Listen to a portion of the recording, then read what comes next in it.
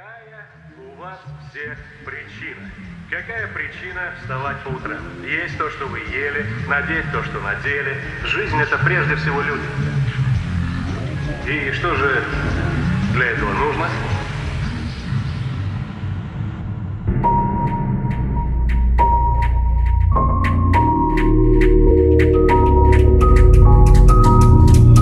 Не спрашивай, кто сделал этот